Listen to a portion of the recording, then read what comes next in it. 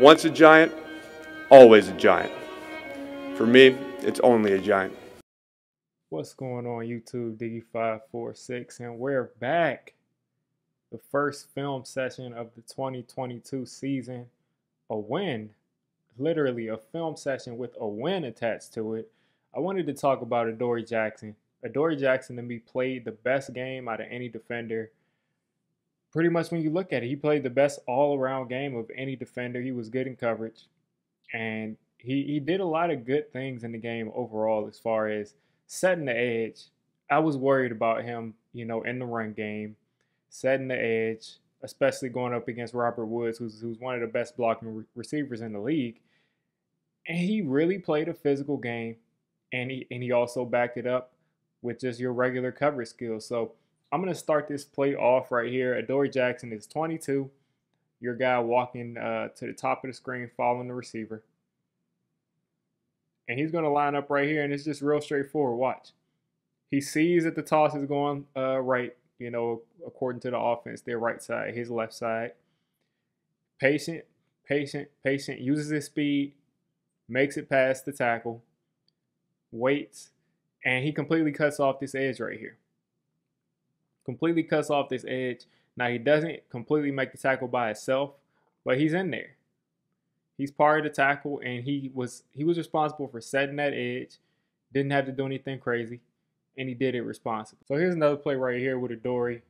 22 lined up against, I think uh, this is Kyle Phillips, the rookie. Uh, anyway, he locks arms, locks up with, uh, excuse this arrow right here. He locks up with this receiver. And pretty much holds them. I mean, I know this is against a receiver, but to not give up any ground right here to me is impressive. I mean, Adoree has been known as a guy that wasn't a physical corner, and he made some physical plays today. He holds up perfectly. I'll play this in real time. Watch him not go anywhere. In fact, pushes the receiver back, pushes him back, sets that edge like completely. Derrick Henry has nowhere to go. Now you see, eventually the receiver gets the better of him as people get you know pushed into Dory's legs, but throughout this whole play, very strong at the point of contact, sets the edge, doesn't give up any ground, and that's exactly what you need because people underestimate the value of these corners in the run game. If Adoree ends up going, give me a second. If Adoree ends up getting pushed all the way back here, guess what? That's exactly where Derrick Henry is going to be going. Derrick Henry's going to be going right through this hole right here if Adoree's not able to hold up, or he's going to be cutting it back. A ton of things that can happen if he's not able to do this. So props to him on these two plays. Now, just because of the stigma on Adoree Jackson, I just felt the need to show, you know, more of these plays than I would normally show because he's known as a guy that's not a physical corner. Well, watch number 22 right here. He's lined up across from uh, Robert Woods, but pay no attention to that. We're just going to watch this right here He's going to make an open field tackle, kind of sitting right there, passes Robert Woods off in the zone. Tannehill probably should hit Robert Woods right here, but he doesn't. Hits the check down. And watch Adoree Jackson, I'll play it in real time, make a beeline. Close the distance, open field tackle on a running back. Now, this is another reason here, as Adoree Jackson is the, at the bottom right of your screen. This is another reason why Adoree was highly drafted, why it was such uh, an eventful day when we got him in free agency because he just has unique physical skills. His ability to turn his hips quicker than, than most corners in the league can really sets him apart. And you'll just see right here. He's able to take away multiple routes at the same time with his speed, with his ability to flip his hips. Kind of just, you know, follows eight inside, is able to just seamlessly keep up with him because he's just so athletic. He can recover pretty much out of any stance as long as he's within five yards of you. So he just kind of just gives him the inside, leads him inside to Julian Love and the linebacker. So he's taken care of. And watch this little move right here as he flips his hips. Just kind of just backpedals. He's still taking away that route. Can can go either way if he wants to. And then he sees Derrick Henry underneath. Tannehill makes a decision in, in a blink he's there to, to get Derrick Henry out of bounds. If Henry catches that, he's there to hit him out of bounds.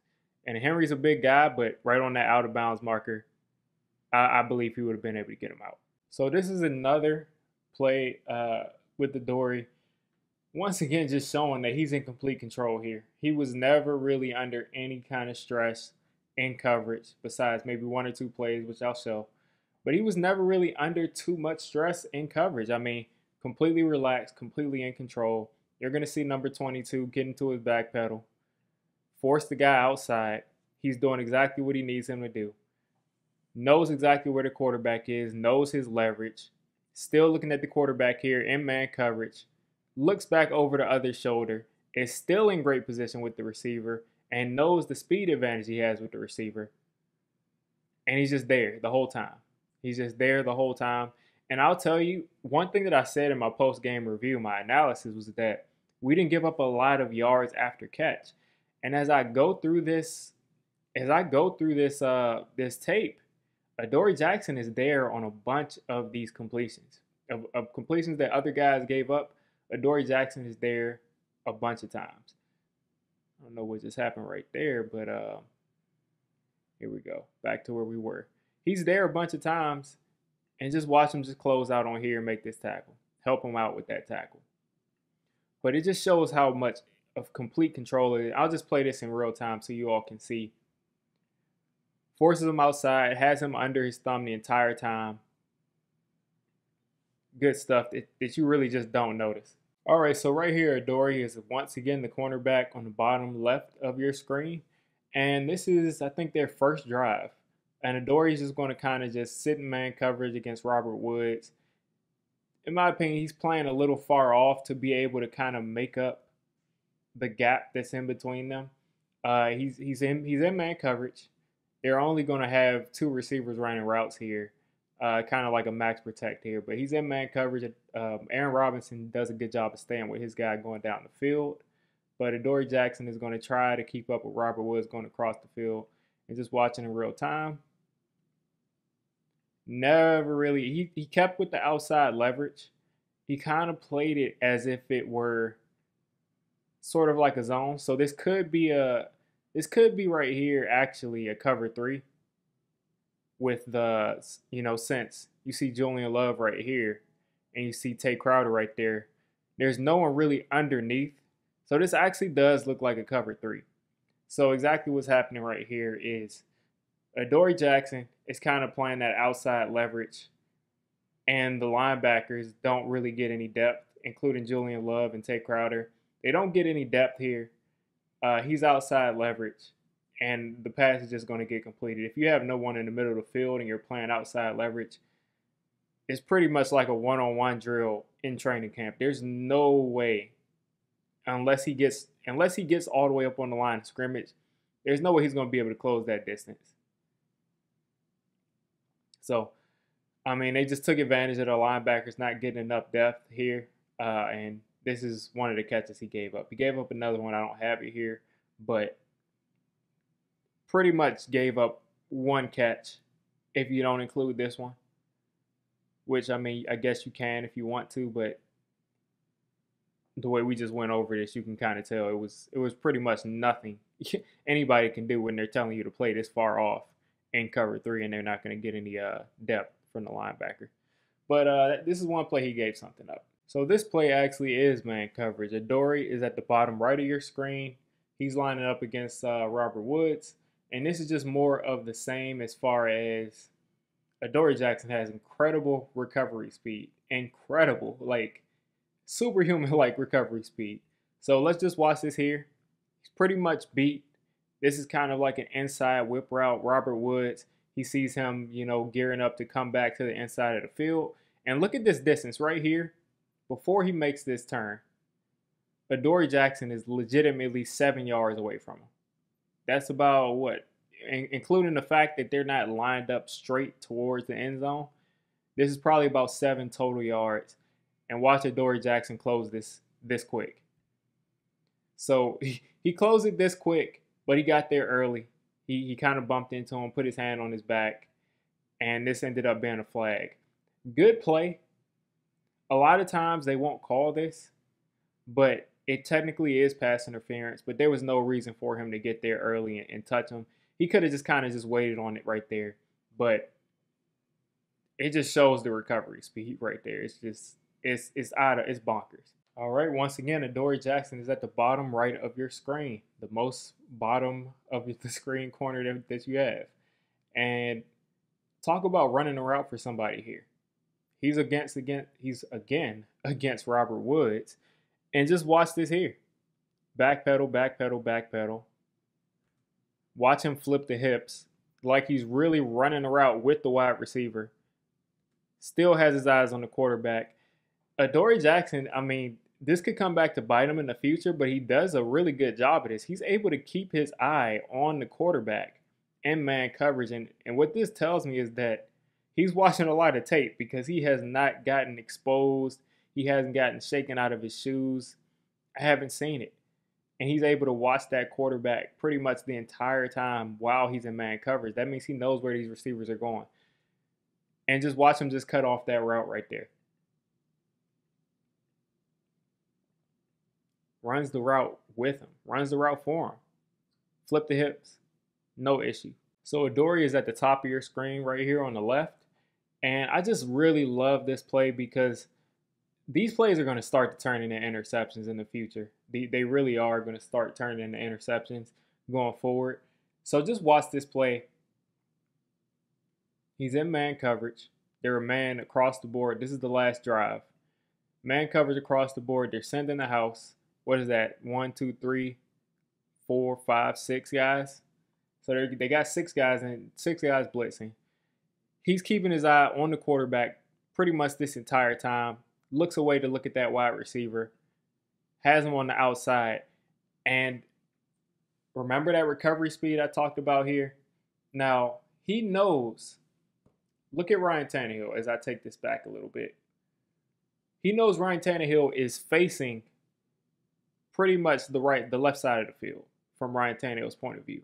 The left side of the field, or you know maybe the middle side of the field. Ryan Tannehill does not have the type of arm talent of a Patrick Mahomes, of a Josh Allen, of a Justin Herbert, to where he's going to quick hitch or he's going to he could probably quick it, but he's he doesn't have that kind of arm talent to make this throw all the way outside the numbers all the way on the other side of the field from the left hash, that far down the field, without Adoree Jackson having the time to close the distance and intercept this pass. So this is a really heady play from Adoree Jackson because right here, if Tannehill has to hitch and throw that ball, if he has to turn his body to where his foot is facing, you know, Adoree Jackson and, and, and Robert Woods right there, by that time, Adoree Jackson already closes down on this route, and it's probably a pick six. So, just something that you notice as far as noticing who he's playing against, noticing the leverage, using the field to his advantage, which which is probably the biggest part of playing cornerback, using the field, using the boundary to your advantage. And it's just something I noticed right there. Tannehill doesn't end up going that way, but again, if Tannehill has to switch his body. As soon as he sees Tannehill switch his feet over there, he's going to be closing down on that receiver. And now to wrap it up, Adoree is at the bottom of your screen, and Adoree Jackson would have called game right here. He would have probably had the game-winning interception if he didn't drop it, but Oshane Ximines tipped the ball. But let's just watch this right here. He's dropping back in his back pedal. Again, using the sideline to his advantage, taking a look at the quarterback, this is how he's able to to to break on these balls so fast and and be around other guys in man coverage as if he's playing zone because he's able to look at this quarterback while covering the receiver. So he bails on that receiver once he sees the quarterback in his throwing motion. And he's pretty much going to be, you know, almost DRC type of undercutting this route. And he's probably going to be gone with it. He might get a hand on the ball. He might get an interception if this doesn't get tipped it's kind of difficult to see exactly where Tannehill is throwing it. But if you look at his foot, it looks like he's throwing it somewhere. See if I can get my highlighter here. Somewhere in this area. Somewhere in this area, either to this guy or to this guy, but it's somewhere in this area. And this is exactly where you see Adoree Jackson breaking on. So he could have possibly had the game winning interception instead of this ball getting tipped.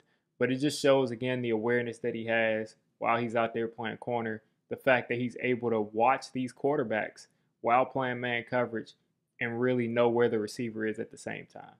So that's all I have for Dory Jackson here. You guys let me know what you're thinking of how he played.